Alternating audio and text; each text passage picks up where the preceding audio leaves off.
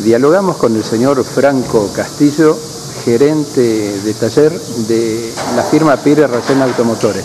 Bueno, Franco, ante todo un gusto conocerte, saludarte. Está terminando la jornada de trabajo, ¿no es cierto? De un día seguramente de intensa actividad. Hoy estuvo complicado. Hoy estuvo complicado. Bueno, no hay un día similar en esta actividad, y ¿no? No, no, la verdad que no. Un día igual a otro, nunca. Nunca. Eso es lo bueno. Bueno, eh, como recién te conocemos, permitime hacerte algunas consultas para Sí, sí, graficar a la no. audiencia.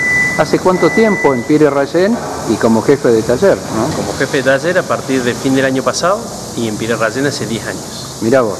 Bueno, soy una persona joven, indudablemente es un halago, un orgullo poder estar al frente del taller, Sí, ¿no? la verdad que sí, la verdad que sí. Eh, es una responsabilidad grande, pero bueno, el equipo que tenemos también hoy por hoy dentro del taller acompaña como para que eso no sea tan pesado también. Está bien. Franco, ¿cuál es tu lugar de origen? ¿Sos zapalino? No, de Río Cuarto, Córdoba. Mirá vos. ¿Y cómo fue que aterrizaste en estos pagos? Cuestiones laborales y familiares. Mi señora consiguió trabajo acá, nos decidimos mudar. Eh, a los tres meses que nos mudamos yo conseguí trabajo acá y bueno, empecé a trabajar. Y en la parte mecánica, ya desde muy joven, ¿te empezó a gustar los fierros? Ni idea, nunca. No me digas. Empecé a trabajar en Kempir Rayen y todo lo que aprendí lo aprendí acá. Está bien. está Antes me dedicaba a otra cosa, en realidad la parte más electrónica, que fue por lo que a mí me tomaron acá. Claro. Bueno, corresponden las felicitaciones por estar a- al mando, como se dice, de- del taller. Yo recién le preguntaba al gerente si la gente quien compra un vehículo eh, ha tomado la responsabilidad, la conciencia de traer los autos al service, ¿no es cierto?, de mantener la garantía, este, algo tan importante, ¿no? Sí. ¿Cómo, ¿Cómo ves ese tema? Sí, eh, me parece que sí, que se le está dando una importancia grande. Eh, tenemos hoy por hoy la posibilidad de brindar un respaldo de fábrica muy importante también. Fábrica incluso ha demostrado el- digamos si quiere, las ganas de brindarle un, un apoyo sobre todo al cliente, extendiendo las garantías, o sea, casi todos los vehículos ya no traen un solo año de garantía, sino a partir de dos, tres y hasta cinco años, dependiendo de la garantía que, que quiera tomar el cliente. Claro. Pero de fábrica traen dos y tres años de garantía. Está bien. Y el otro dato eh, significativo de importancia es que ha cambiado tanto la tecnología que ya los autos, Sí. con todo respeto con los talleres, no se lo puede llevar a cualquier mecánico, ¿no? No, lamentablemente no. Y bueno, eso lo padecemos muchas veces nosotros. Sí, eso es cierto. Ah, ustedes lo pueden percibir ese tema. Sí, Ah, sí, porque por ahí encontramos muchos autos que por ahí se han cansado de dar vuelta por, por muchos lugares pensando que va a salir más económico y a la vuelta termina siendo más caro. Claro. Sí, sí, se entiende perfectamente. Franco, eh, hay una permanente capacitación por parte de fábrica Sí, para estar al tanto de todas las tecnologías. De hecho, la ¿no? semana que viene ya no me encontrabas acá. Yo- vos. Sí. Sí, incluso vía online se ha facilitado muchísimo también el tema de capacitación. Permanentemente están brindando cursos para todo el personal. Así que en ese sentido también hay un apoyo muy grande de fábrica. Claro. Este, eh, ¿Cuántas personas te acompañan en esta tarea diaria? Mm. Y hoy tenemos cuatro personas en el taller, más una persona en el lavadero, más el administrativo recepcionista. Así que ese es el personal que contamos en el taller. No, por supuesto.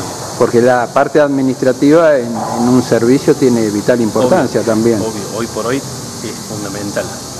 Fundamental y sobre todo, bueno, con lo que vamos a charlar seguramente dentro de un ratito del tema de la nueva línea de servicio, eh, ahí es terriblemente fundamental. Está bien, había agendado para última consulta si nos podía ampliar detalles sobre esta novedad. ¿no? Sí, eh, el servicio se llama Express Line, es un servicio que tiende a cortar los tiempos de, de espera, digamos, para el cliente, eh, sobre todo para nuestra zona, que muchas veces tenemos gente que viene desde muy lejos, Chomalat, eh, Las Ovejas, yo, Aluminé, eh, por ahí hay gente que necesita irse en el mismo día o incluso al ratito que viene.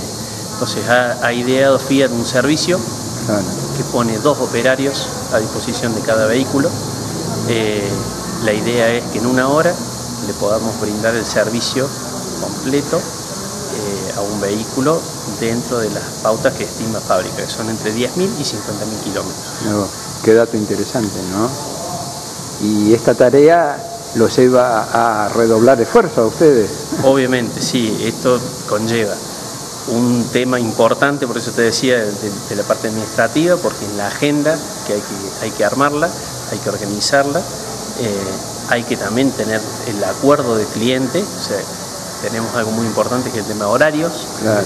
La agenda esa se basa fundamentalmente en el tema de tiempos, entonces no solo tiempos de los operarios, sino tiempos del cliente.